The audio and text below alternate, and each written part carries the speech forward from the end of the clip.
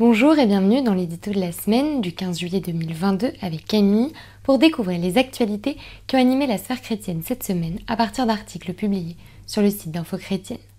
Les 80 ans de la rafle du Veldiv, des nouvelles de certaines victimes de la tuerie du 4 juillet, une attaque meurtrière dans un état à majorité chrétienne du Myanmar et le Jesus Festival. On fait un point sur les actualités de la semaine. Dimanche 23 août 1942, l'archevêque de Toulouse, Jules Saliège, a fait lire dans la plupart des églises de son diocèse une lettre de protestation pour dénoncer le sort réservé aux juifs sous le régime de Vichy. Alors que les 80 ans de la rafle du vélodrome d'hiver seront célébrés samedi 16 juillet, le grand rabbin de France, Haïm Corsia, a demandé à ce que cette lettre soit lue dans les synagogues du pays. Toujours à l'occasion de ce triste anniversaire, l'Élysée a annoncé mercredi qu'Emmanuel Macron prononcera dimanche un discours offensif contre l'antisémitisme et le révisionnisme historique. Malheureusement, le combat contre le racisme et l'antisémitisme est toujours d'actualité. Bien que la situation soit évidemment incomparable avec celle du régime de Vichy, les crimes et les délits à caractère raciste, xénophobe ou anti-religieux étaient en augmentation en 2021. Pour combattre ce phénomène, le gouvernement a annoncé mardi qu'il allait verser 400 000 euros par an sur trois ans à la Ligue internationale contre le racisme et l'antisémitisme.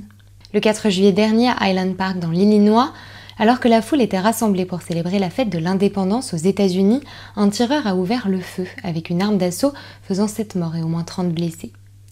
Le petit Cooper Roberts fait partie des victimes de cette attaque. Il est désormais paraplégique un proche de la famille Roberts a lancé un appel à la prière pour le petit garçon qui a subi plusieurs opérations. Vendredi dernier, sur le site d'Info Chrétienne, nous vous avons parlé d'un autre petit garçon, Aiden McCarthy, âgé de 2 ans, rescapé de la fusillade, qui a lui perdu ses deux parents lors du drame. Une campagne GoFundMe a été lancée pour soutenir le jeune orphelin. Plus de 3 millions de dollars ont déjà été récoltés. Au Myanmar, l'État de Chine, à majorité chrétienne, continue d'être visé par les attaques de la junte militaire. Une frappe aérienne a fait deux morts début juillet. Cet incident survient moins d'un mois après que les évêques du pays aient demandé à l'armée birmane de respecter la vie humaine et de mettre fin à la violence. Le 11 juin dernier, ils ont notamment rappelé que la dignité humaine et le droit à la vie ne peuvent jamais être compromis. La première édition du Jesus Festival a eu lieu le week-end dernier à Paris-le-Monial. Pendant trois jours, près de 4000 chrétiens de tout âge et de différentes sensibilités, évangéliques, catholiques et protestants, ont célébré le nom de Jésus ensemble lors d'un événement festif et familial.